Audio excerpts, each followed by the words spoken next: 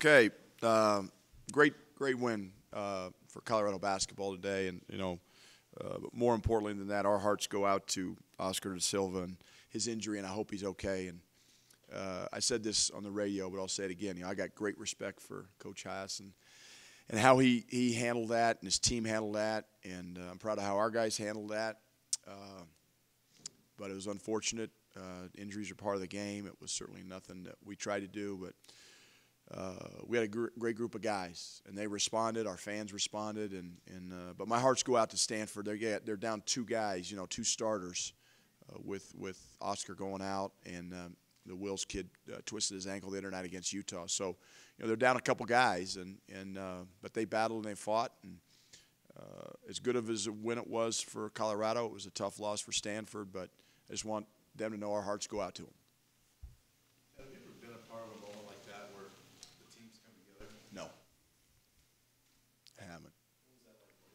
It was emotional. Again, I think I think the way their coaches and their players responded, and the way our players responded, was was really special. How hard is it to get back in the flow of the game after? Uh, it's hard. It's hard. It's really really hard, and that's why you know. That's why I'm so proud of our guys. I mean, Evan uh, obviously was emotional about it. It's, it's, it's an emotional day. It's an emotional game, and you know, sports brings out emotions in people. It brings out emotions. Sometimes it's good. sometimes it's bad. You saw some bad emotion from the Colorado coach at the end of the first half. Uh, sometimes it brings out the worst in, in you, in, in me, so, uh, and in players. But sometimes it brings out the best. And, and that's an example, I think, you know, today of, of the best.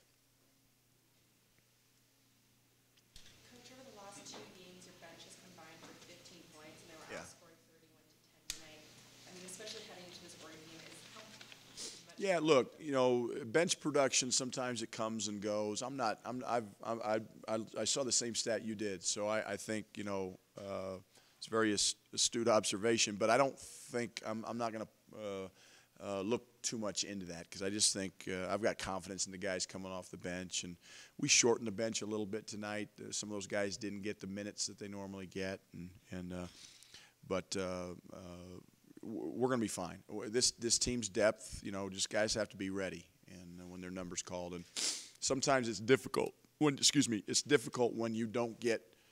You know, Maddox didn't get a lot of extended minutes tonight. Eli didn't get a lot of. Ex- he got a little bit, but you know, Dalen didn't, and Dallas didn't. So. Uh, certainly Stanford did. You know, they, they had the injury and, and, and they, you know, coming into altitude, I think they were planning on playing more people anyway. But uh, I don't play. I don't read too much into that. Our our bench is good. I've got confidence in them, and, and I think that'll turn itself as, as the season goes on. I know 59 points second half is yes. It's great.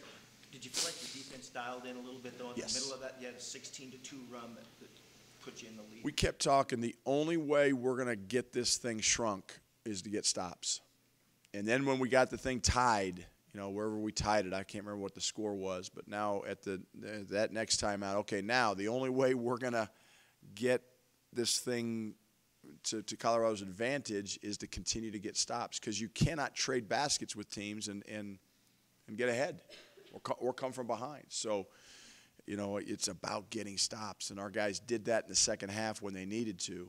Um, and again, Stanford was down a couple guys, but they run good offense. They got, you know, I was really disappointed again. You know, it reminded me a little bit about Northern Iowa. They didn't make, you know, 14 threes, but they made 12. We fouled three point shooter twice. You know, uh, again, that's 14 threes they made.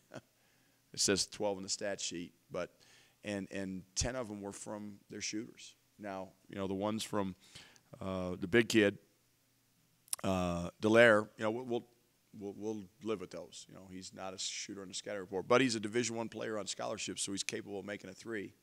You got to adjust to that. But man, we knew White, we knew Jones, we knew Terry. Those guys can can knock down threes. We got to take away threes because that's again the great equalizer. That's what kept Stanford ahead and, and, and certainly in the game.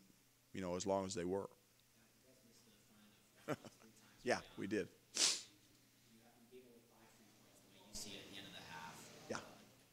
basketball took a second seat in this game. Yep. I mean, everything's working against you. The bounces aren't going your way. The refs yep. are. You know, to get the comeback, one of the biggest comebacks in, in school history, I'm really, I'm really proud of our guys. They're, they got, they got what it takes.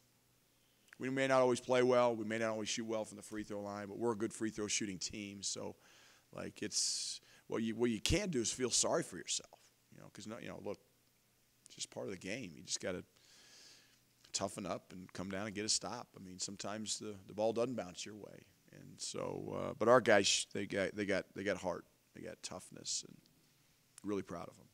You always tell your guys shots are gonna start falling if they keep Yeah, I- getting open shots and. Yes. I said it in the timeouts, Neil. It's like, guys, our shots will start coming. They, they will. We're getting great looks. They're, they're going to come. We got to dial in on the defensive end. We got to take their threes away. We got to make them, and that's easier said than done. Stanford is a very, very good basketball team. We beat a really good team, a shorthanded team with da Silva's injury and with Wills being out, but a very, still a very, very good team. And, uh, you know, they've hit a rough stretch in their schedule, but uh, uh, they'll be back, and we we got to we got to go back to the Bay Area, you know, at the end of the year. So we'll see them again, and and uh, uh, it's I got again I got great respect for Stanford.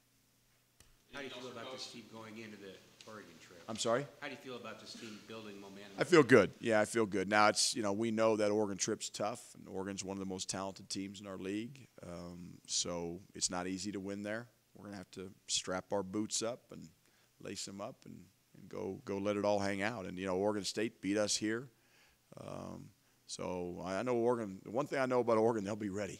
You know they're well coached. They're a talented team.